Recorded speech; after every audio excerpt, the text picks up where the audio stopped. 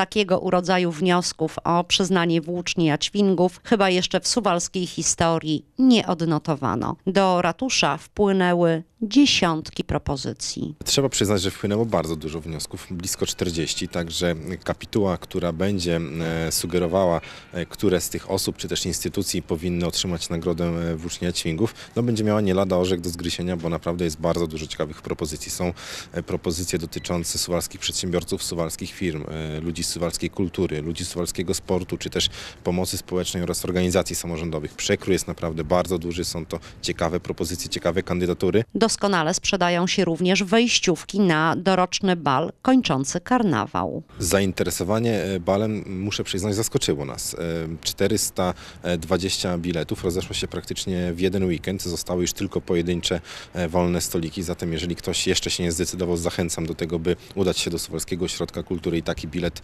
kupić. Na ten wieczór organizowany przez prezydenta miasta zaplanowano oprócz wspólnej zabawy również galę wręczenia co najmniej kilku statuetek włóczni Jadźwingów. Kto je dostanie? Kapituła spotyka się już w przyszłym tygodniu.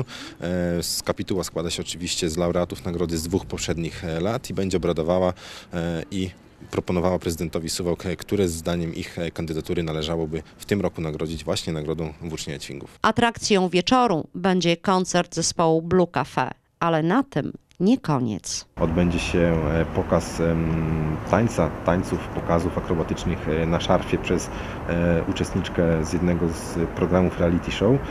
Odbędą się również inne atrakcje, o których jeszcze będziemy informować.